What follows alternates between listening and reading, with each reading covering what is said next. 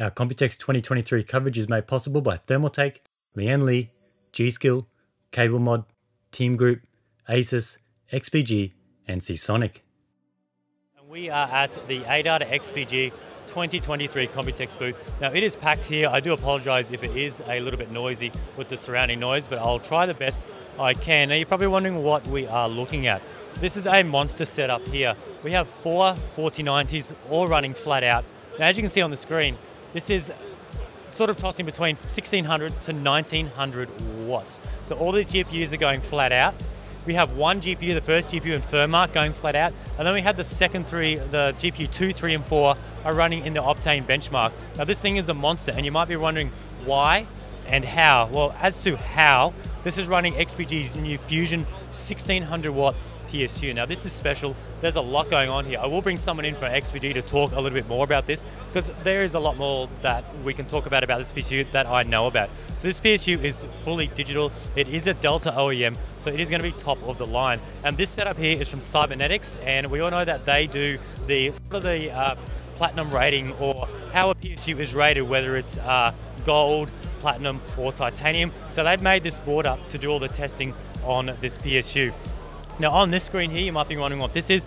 This is their XPG uh, Prime software. It's not just for this power supply. If you're running other things like XPG's hub, their fans, their memory, you can control all that. But just on this system, we are specifically looking at this Fusion uh, 1600 watt PSU. Now at the moment, the DC out wattage is about 1700 watts, which I mentioned before. That's just reading it. We can do a lot more here. We can change the rail from multi-rail to single rail. I'll get some other screens on B-roll, but we can change uh, the voltage, the uh, 12 volt, different voltage rails up or down. Obviously that's going to be within reason. You're not going to be able to smash 15 volts on the uh, 12 volt rail because you don't want to do that. So things within reason.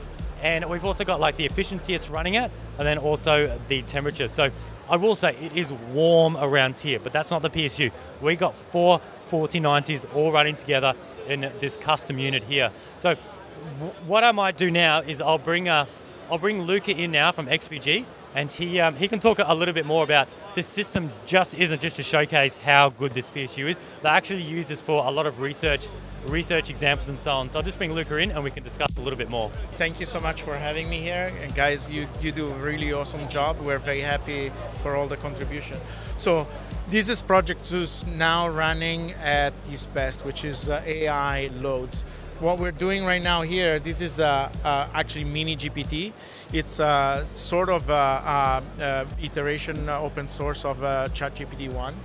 And uh, we have uh, actually data that is uh, from Anthony Karpathy, which is the head of AI at Tesla. So he has an open source data set over there, which is actually using a Shakespeare play, Coriolanus, Death of Caesar. very funny. And so we're we're actually loading this uh, to, to all GPUs. We modified the original source code to run on multi-GPU.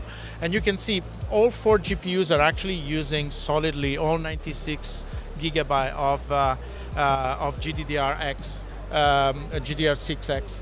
But it, the system is running actually at 500 to 700 watts. Okay, uh, so, so that's so each GPU has 24, so that's where you get the 96 from. Just in case someone thought there was 96 each. So it just adds adds all of them together. That's correct. And uh, so they're all running in parallel, all doing uh, uh, CUDA type of uh, uh, type of uh, machine deep learning, and we use TensorFlow on Python for running this because we want to run it on Windows, and that's really what's doing right now. So this is just a standard language model. This, this, is the way that we compute the, the data, and it just feeds the text and calculates how to learn how to talk like Shakespeare. So, and there was a, another slide with uh, the next yes. one. So we, we also have another training model uh, which is uh, uh, machine learning for images. And so in this that learning model, we actually use uh, a data set from the University of Toronto, which is uh, called uh, CIFAR 10. So CIFAR 10 is a group of 60,000 images in 10 categories, airplane, automotive, bird, cat, etc., etc., etc.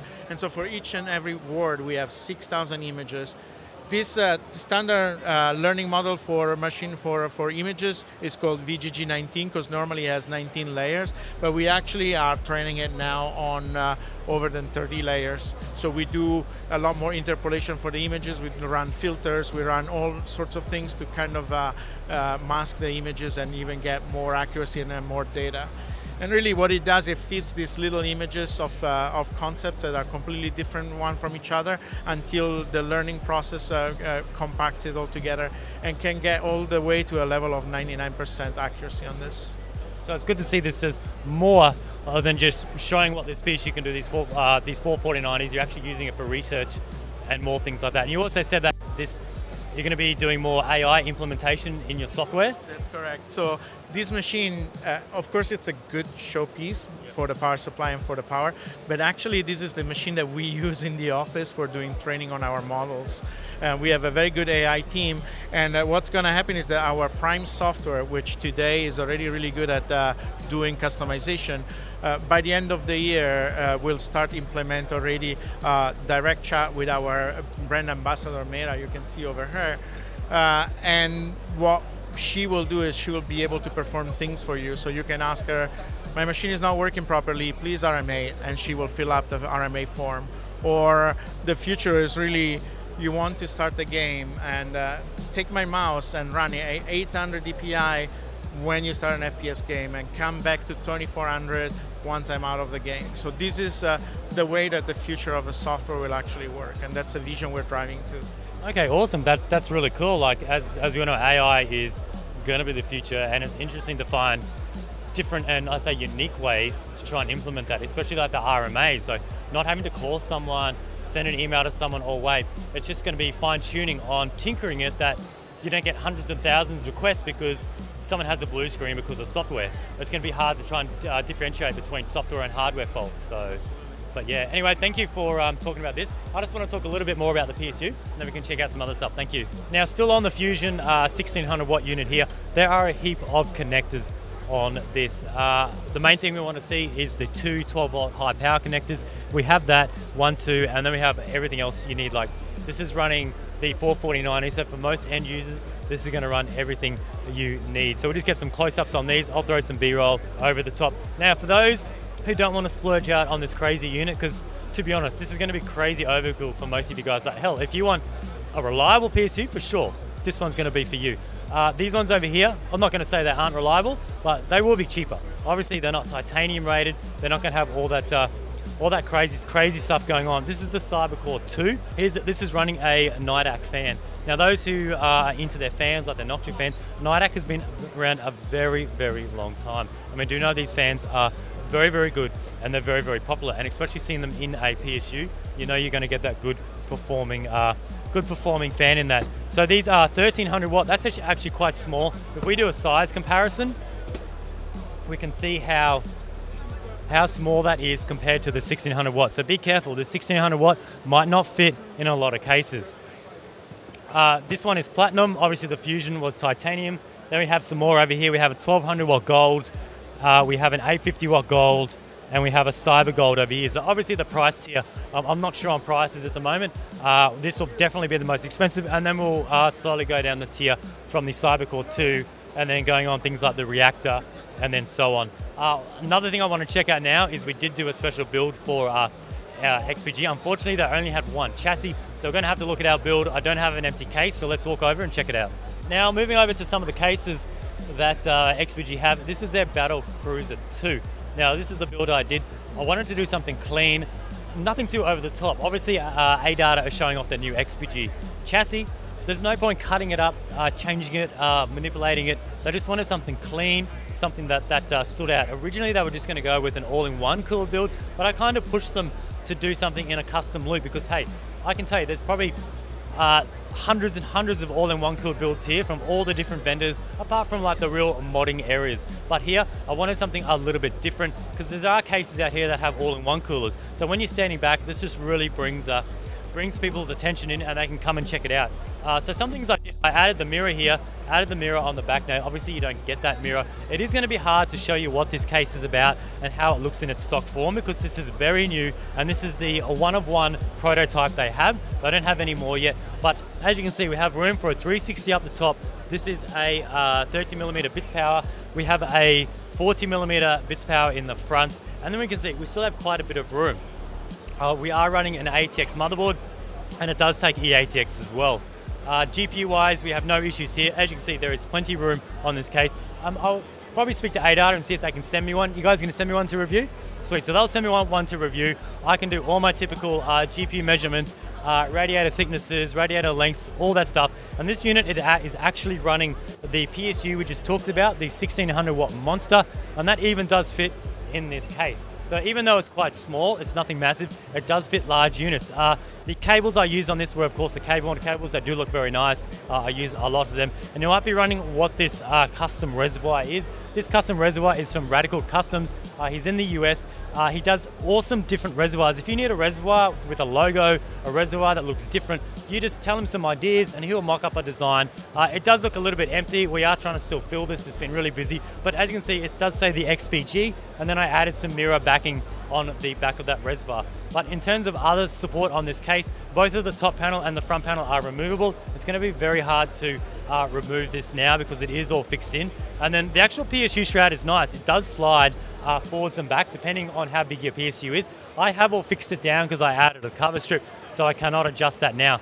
One other thing I do want to talk about is this little unit here. Um, now, it doesn't actually look like this. It's just a square box here. So this is just a little controller. It's called the Prime Box. Now this is your ARGB and your PWM controller.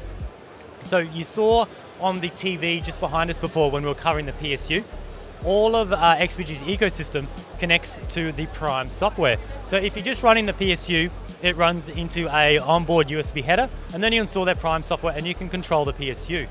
Now, if you want to control uh, their fans and that, you can buy their Prime box. You don't have to buy the Prime box if you don't want to. If you're using their fans, they can run independently, and you can control them via the motherboard. But this Prime box does a lot. Once you install their software, you can control the fans, you can change, you can control the RGB and all of that, and it all comes in the one software. So we've seen that from other brands, and it just all works in the ecosystem. And I'm using that in this system here, and that's what the case is doing. The PSU is connected uh, independently to the motherboard, but it all works in their software, and also the memory as well is picked up in the Prime software as well. So you simply just go like left and right, shows you the PSU, the next one's the memory, and then the next one is the Prime box. So it just all works in the ecosystem. So what we're going to do now is jump over and check out some uh, check out some memory and we'll talk about what we're using here. I just wanted to uh, ask one more question to XPG. Do you have any release dates or um, prices on this chassis?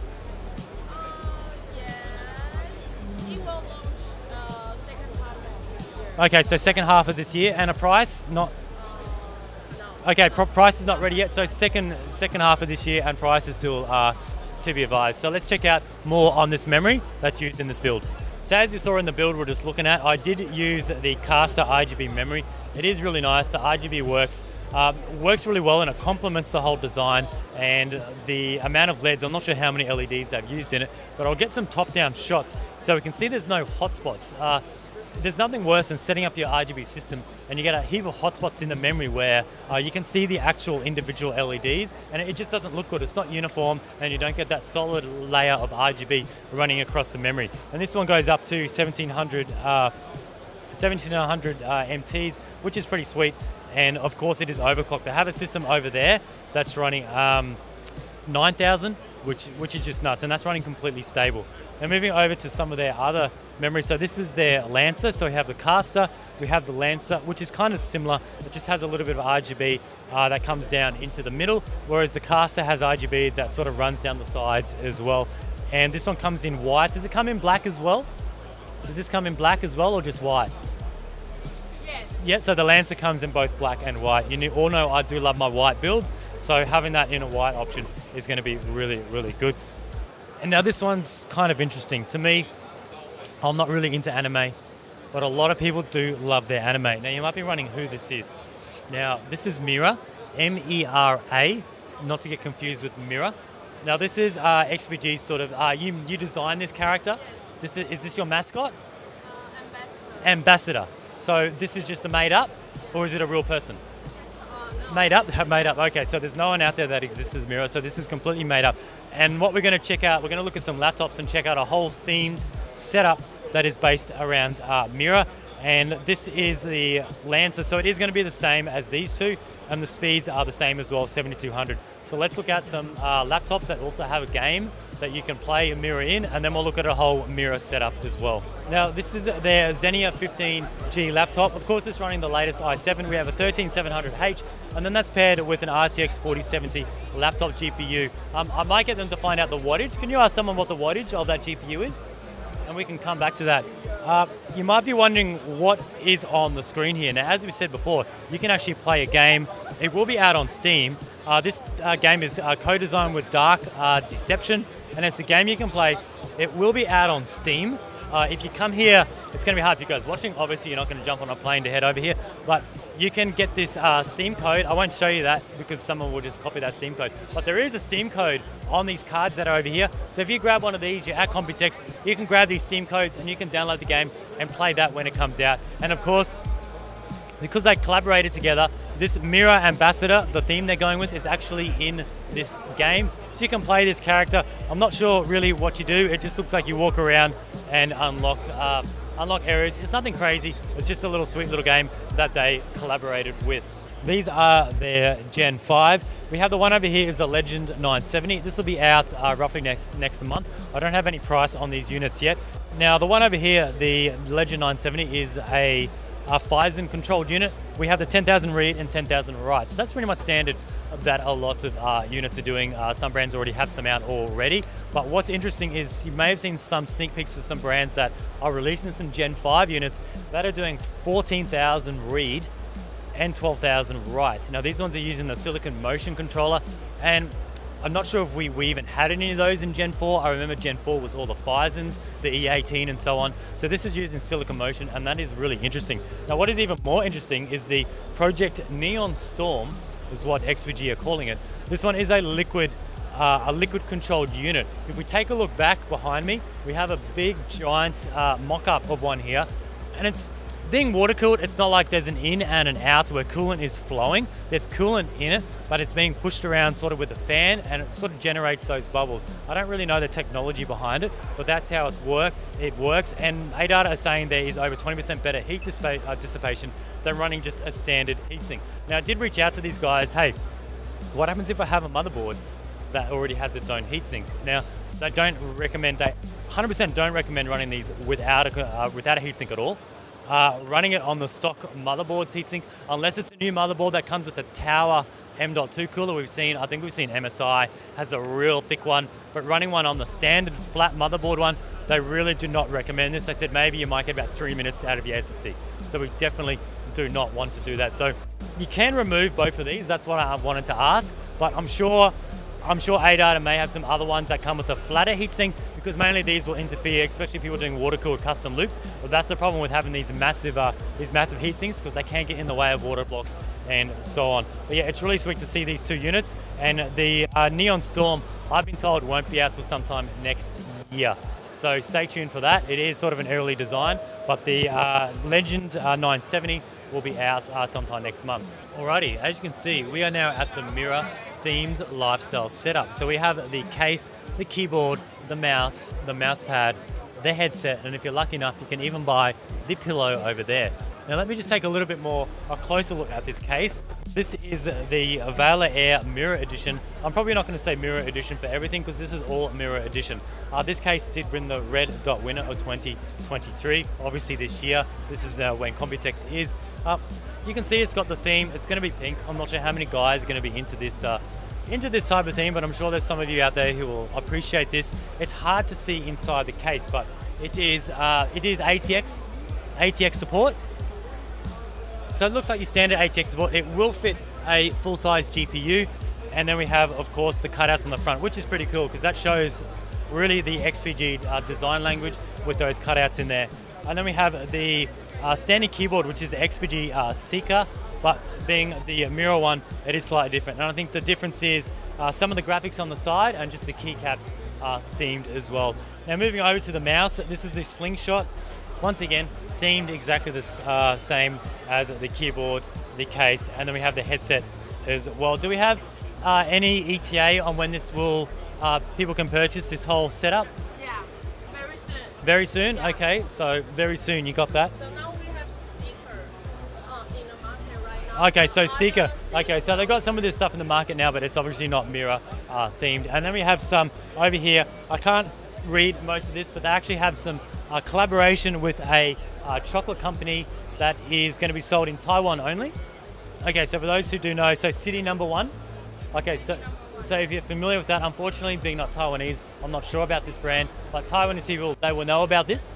Yeah. Okay, so if you do like chocolates, you can get that whole Mera. So they can buy this on, in the convenience store. Okay, so you can get this in convenience store as well. So if you're interested in that, that's definitely going to be up your alley. But uh, anyway, I think that is going to be everything at the ADATA XPG booth. I do want to thank ADATA for uh, sending me over to check all this stuff out. I hope you like the PSU, the memory, the SSDs, the build I did. And uh, yeah, that's it. I want to thank you guys for watching, and we'll see you in the next one.